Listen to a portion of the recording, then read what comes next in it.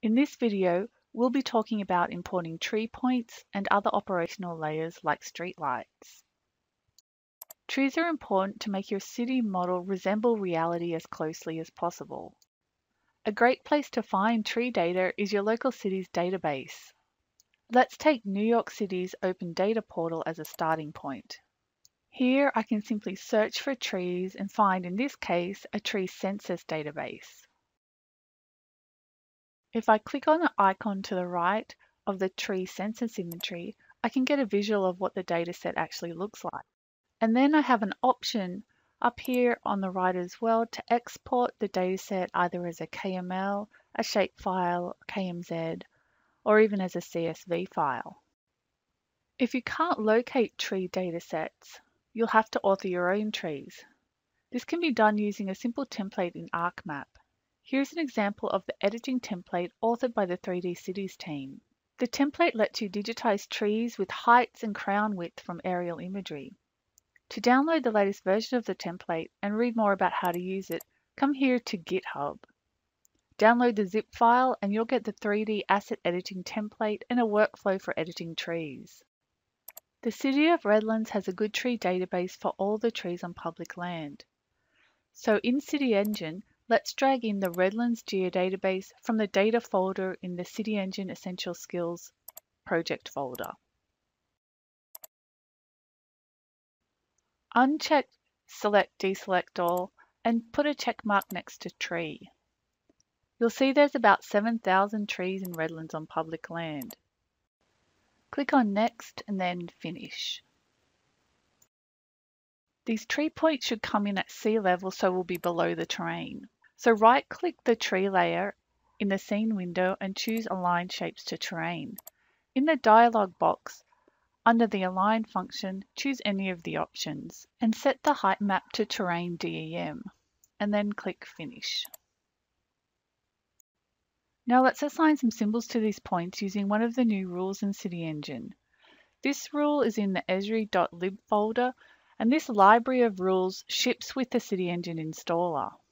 To assign the rule, right-click the tree layer and choose Assign Rule File. And then navigate to the esri.lib folder and down to the rule folder. Expand the plants folder and here choose Plant Loader 3D CIM and click Open. Once you generate the models, you'll get a bunch of what look like ghost trees. This indicates that the attributes in this tree feature class don't match the attributes in the rules database. And to change that, we can edit the attributes of the trees prior to importing them into City Engine. This rule is looking directly at the name category in the 3D CIM database and assigning the correct model. So you can see how much of the database doesn't match. The way to fix this is to either match the name category in your database to a name in the rule database, or we can change some parameters so the rule draws the symbols based on a symbol name. To do this, press the backspace key in the name field in the 3D CIM group in the inspector window and hit generate. And you'll see all of the trees will get the representation from the symbol name category.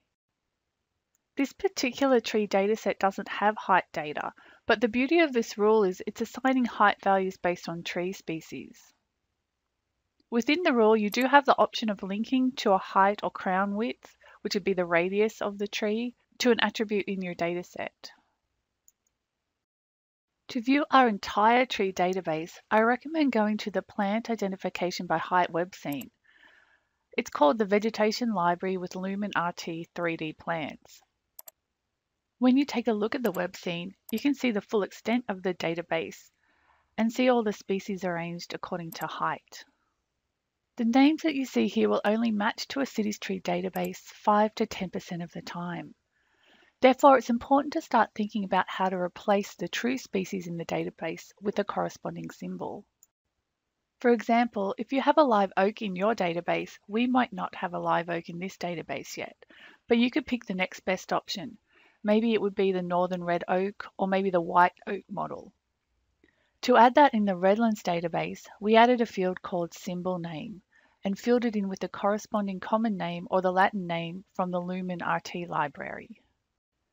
You'll see in the data folder of the City Engine Essential Skills project, we have a plant CSV file, and this is where we align the plant name to a symbol name in the database.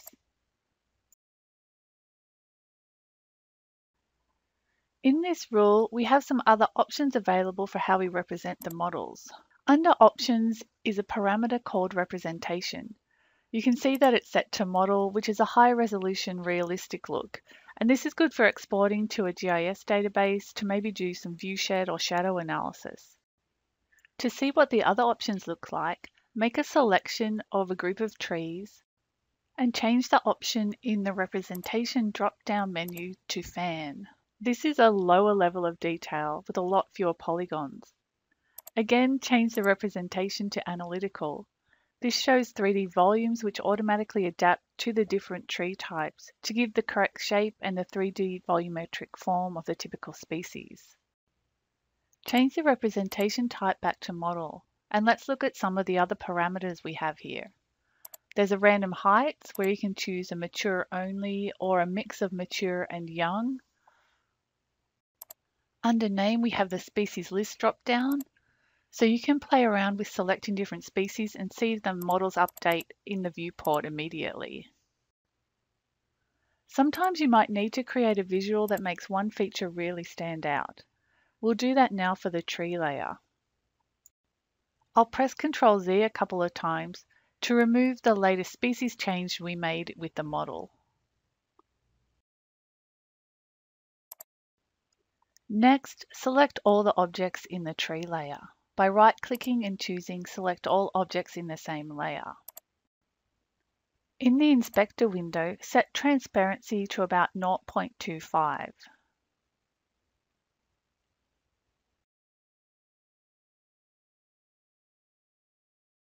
And set the override color to a green.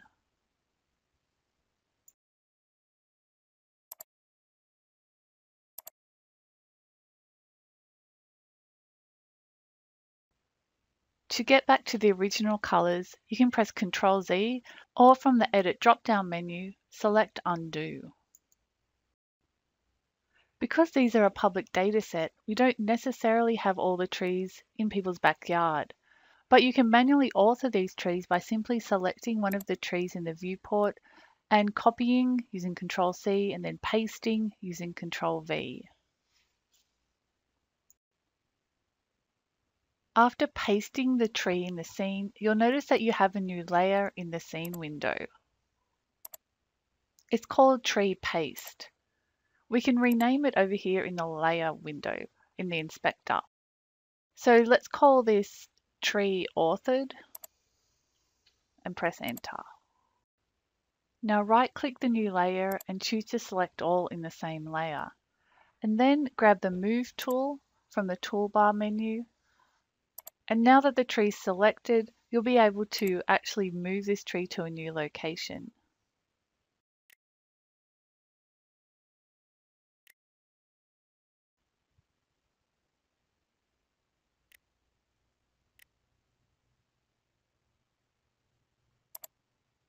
Once you're happy with the position of the tree, you can play around with the different options in the tree species.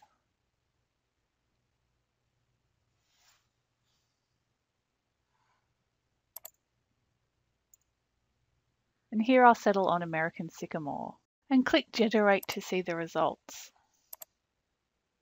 Other datasets commonly found in a GIS database are street lamps, furniture, and other operational data.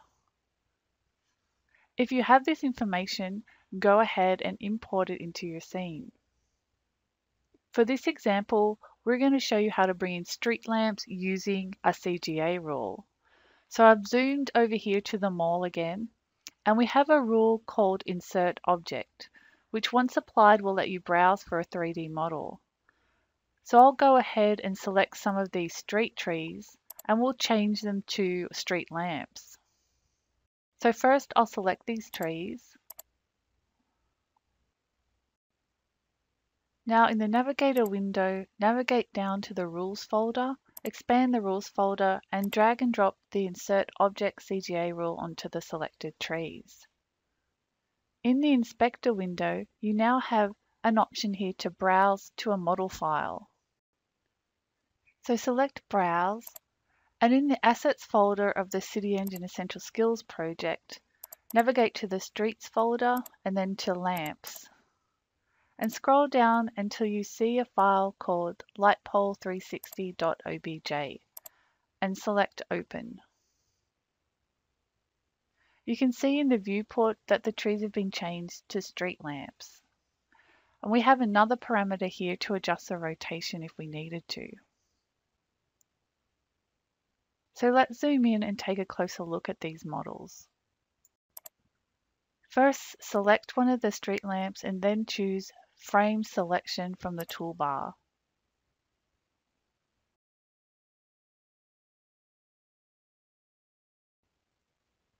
If you needed to adjust the model's location, you could do this using the Move tool. Getting familiar with ArcMap and how to process data will save you time in the end in City Engine.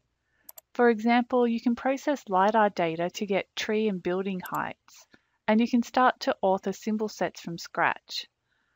Otherwise, in City Engine, you can author trees as we showed you today. If you're curious about how to format data in ArcMap, at the City Engine Resource Center, there are ArcGIS to City Engine workflows to help you get started. At training.esri.com, we also have a course called Modeling a City Using City Engine. To get the full list of training available for City Engine, go to Esri's training site and in the search window type in City Engine. And here you can see a list of free modules, webinars and training seminars. If you'd like to find out more about our 3D City Vegetation Library, you can download our City Engine project here. You can download procedural rules to help you create small gardens to entire forests.